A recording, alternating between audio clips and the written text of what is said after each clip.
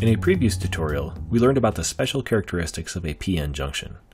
If we add one more section of a semiconductor material to a PN junction, we have a bipolar junction transistor, or BJT. We can add a section of N-type semiconductor to create an NPN transistor, or we can add a section of P-type semiconductor to form a PNP transistor.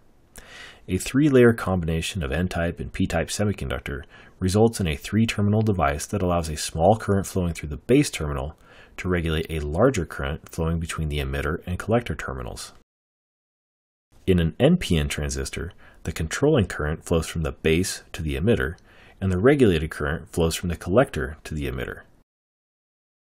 In a PNP transistor, the controlling current flows from the emitter to the base, and the regulated current flows from the emitter to the collector. As the name implies, a field effect transistor, or FET, uses an electric field to regulate current. So a FET allows a small voltage to regulate a large current, while a BJT allows a small current to regulate a large current.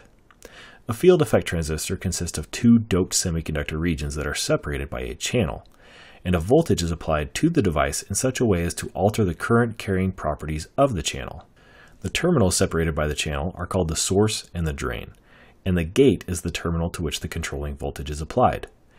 Though this diagram helps to introduce general FET operation, it is actually depicting a relatively uncommon device called a junction field effect transistor, or JFET, but the majority of FETs are metal oxide semiconductor field effect transistors, or MOSFETs.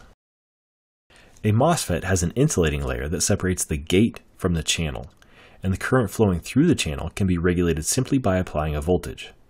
This diagram conveys the physical structure and basic operation of an N-channel MOSFET, also called an NMOS transistor.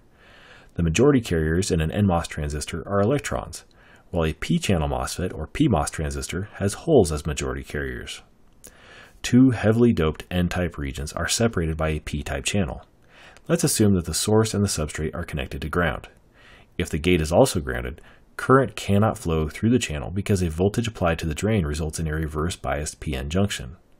However, a positive voltage applied to the gate repels holes in the channel, thus creating a depletion region and attracts electrons from the source and drain sections.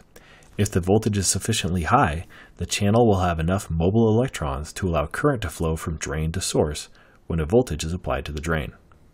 For more details, check out the link in the description or visit allaboutcircuits.com.